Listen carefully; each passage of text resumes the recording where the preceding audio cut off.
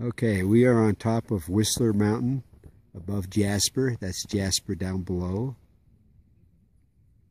And we're going to do a 360 degree view.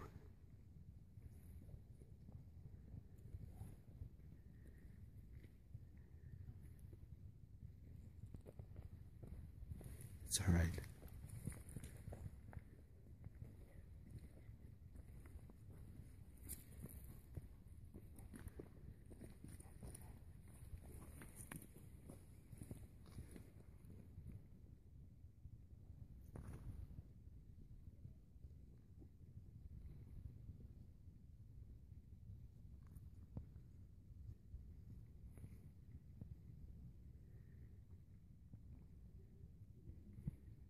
And here we are back at Jasper. That's probably too fast.